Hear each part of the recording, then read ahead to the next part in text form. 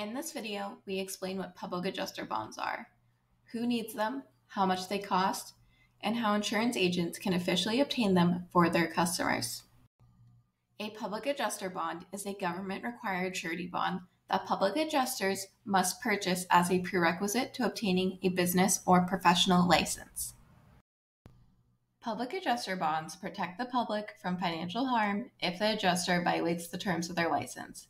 Specifically, these bonds protect the public if the adjuster engages in acts of fraud or unethical business practices. Public adjusters must purchase a surety bond as a prerequisite to obtaining a business or professional license. A public adjuster is generally defined as an individual or business that acts on behalf of an insured in negotiating the settlement of an insurance claim. Public adjuster bonds are required in 26 states. Hit the link in the video description to find your state specific bonding requirement. State government agencies regulate public adjusters based on license laws written by each state's legislature.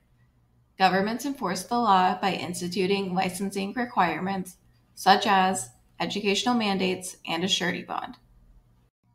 At Bond Exchange, low risk public adjuster bonds can cost as low as $100 per year or $10 a month.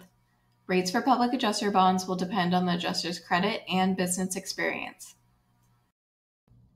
To avoid claims made against their bonds, public adjusters must ensure that they do not engage in acts of fraud or unethical business practices, and that they pay all claims and settlement funds owed to insureds. Bond exchange makes obtaining surety bonds easy. Insurance agents need to simply log into their account and select the state the bond is required in, and then use our keyword search to find the bond they need.